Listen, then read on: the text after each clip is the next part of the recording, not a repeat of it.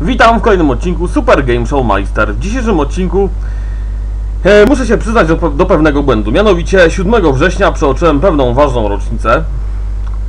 I tą rocznicą było 20-lecie programu Idź na całość w Polsce. Mimo, że ten program nie jest już emitowany od lat 16, to y, właśnie jakieś około dwóch miesięcy po fakcie, po tych 20 urodzinach, robię właśnie ten odcinek jubileuszowy. I e, dzisiaj takie krajobraz 20 lat e, po premierze e, Idź na całość, która miała miejsce 7 września 1997 roku. No i cóż, tutaj możecie zobaczyć obydwa logotypy, ten z lat 97-2000 i 2000-2001. Program był nadawany właśnie od 7 września 97 do grudnia 2001 roku. Pierwszym prowadzącym był oczywiście Zygmunt Heiser, potem go zastąpił Krzysztof Tyniec, z tym się wiązała zmiana scenografii logotypu, tutaj możecie to zauważyć. E, co jeszcze? O zasadach idź na całość, już mówiłem w jednym z poprzednich odcinków e, Super Game Show Meister. Tak wyglądała scenografia. Pierwsza scenografia była idealną kopią scenografii niemieckiej ponieważ wszystkie elementy wówczas zostały sprowadzone do Polski z Niemiec, z niemieckiej wersji Geisa Ausganze, która była na antenie no już dużo wcześniej, czyli 5 lat wcześniej, czyli 25 lat temu, zadebiutowała w roku 1992. I z tej okazji chyba też powinienem zrobić jakiś odcinek jubileuszowy albo coś w tym stylu, ale no, to, to jest kwestia przyszłości, zobaczymy. No ale oczywiście obydwie te, obydwa te programy opierały się na Let's Make a Deal, które zostało stworzone 54 lata temu przez niedawno zmarłego niestety Monty Halla. Monty Hall zmarły 30 września w wieku 96 lat. Piękny wiek, naprawdę piękny wiek. No i cóż, e, co zrobić? Żebyśmy wszyscy tyle żyli, bo 96 lat. E, więc tak. E, w polskiej wersji zonkiem był oczywiście kot, co, co, o czym już chyba nie muszę mówić. A był on wzorowany na, na takim oto niemieckim szczurze. No i też się nazywał Ząg.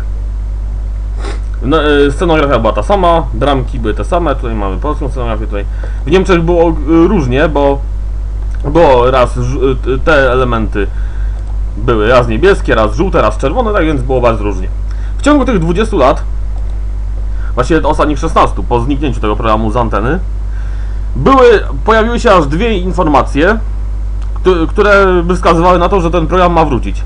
I obie okazały się fake newsami.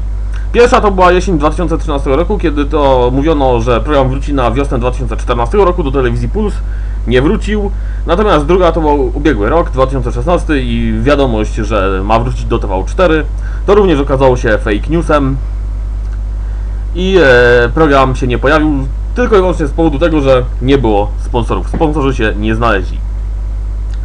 No, a tak, e, no i oczywiście prowadzącym tych e, niby reaktywowanych wersji miał być oczywiście Zygmunt Heiser, który jest oczywiście kojarzony z programem, jest twarzą tego programu.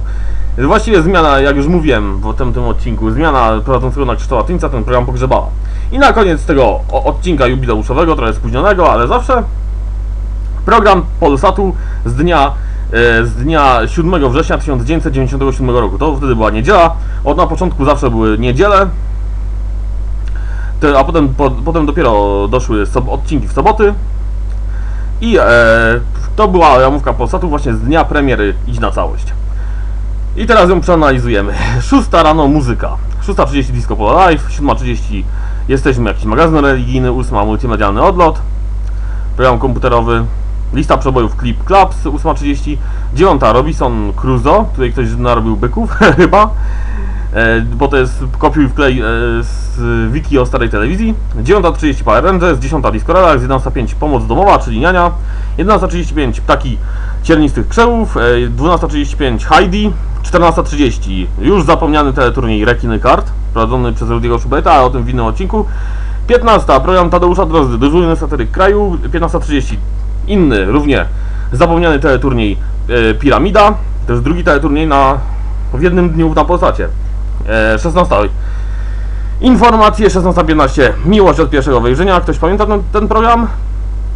Taki program był, prowadziła zdaje się Rena- Renata Dąbkowska, czy jakoś tak. 16.45 Pacific Blue. 17.40 Nowe przygody Robin Hooda. Pamięta to ktoś ten serial? 18.35 Dziewięciu Wspaniałych, czyli polska wersja Hollywood Quest. Trzeci teleturniej e, właśnie jednego dnia.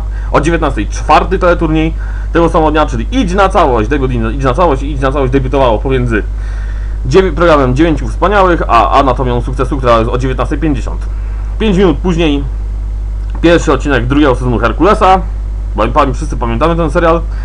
20.50 dokładnie tacy sami, w jakiś film amerykański z 81 roku. 22.35 na każdy temat, równie kultowe talk show. Potem 23.40 magazyn społeczny, pierwsza 10 muzyka i trzecia 10 pożegnanie, koniec programu o 3.10 i plansza testowa.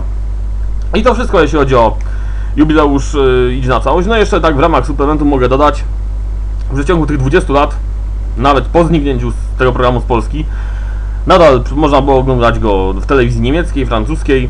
W międzyczasie w 2003 roku został na krótko reaktywowany w wersji e, amerykańskiej, oryginalnej, natomiast e, w międzyczasie jeszcze zawitał do Wietnamu, do Indii między innymi.